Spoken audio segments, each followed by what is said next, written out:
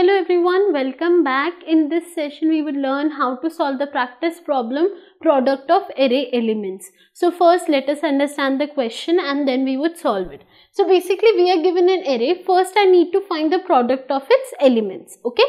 Once I have find, found the you know the product of the elements for example k is the product of the elements. Then I need to find the modulus of it with the given mod function okay?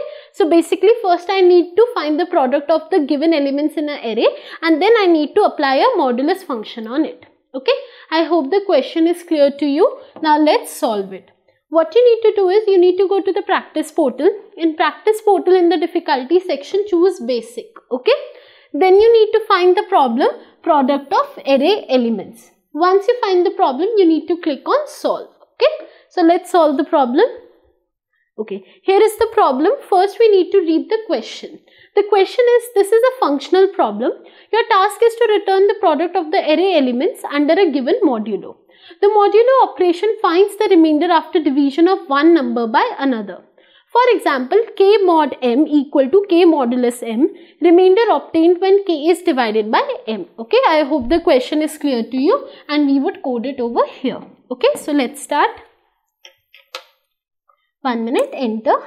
Initially p equal to 1 enter. For i in array colon enter. Then I am finding the product p equal to p star i. I am finding the product. And finally the modulus function. So return p modulus mod. Okay? Now I need to check if the solution is correct or not. So I would click on compile and run. Let's wait. Let's see compilation is completed and my output is matching with the expected output. So now I would submit the given problem. Let's wait. Problem is solved successfully and this is how you solve the practice problem product of array elements.